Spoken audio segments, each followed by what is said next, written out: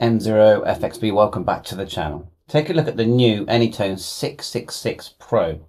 Now this is a really nice looking 10 meter CB radio and it can be expanded very easily by just moving a, a small little pin inside and then it will do 27 megahertz. There's a video here by Gaz Labs where you move this pin just over. So at the moment it's covering the words 2 and 1. You just move it to the left and it will cover 3 and 2. And there's another you know, image of, of the lid removed and you can just about see, I try and circle it here, thanks to Gaz Labs as well. Okay, move that over. And then it's, you've opened it up. So I just think it's a really nice looking version. Now I've got the Anytone 555 model, which is a very similar price, quite a big device. If anything, it's a little bit lower. And I would say it's the same radio, but the case that they, you know, the Anytone have used you know, this case design, and it's really nice. I mean, look at it.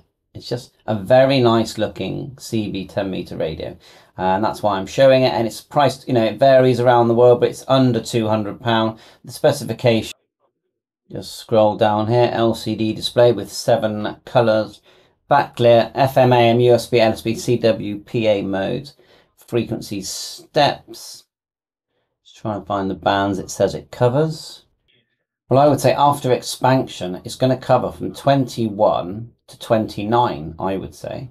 So just some of the obvious things here, AM, FM, SSB, um, AM, SSB, PEP, 80 watts, echo, noise reduction, Roger Beep, CT, CSS, color, LCD. So yeah, nice looking, solid. And if you like CB, and there is activity out there, definitely on 10 meters, um, upper sideband and even CB. If you're on the right frequency at the right place, and in America, I mean, I get it booming through from the, is it the, what their stadiums, baseball stadiums.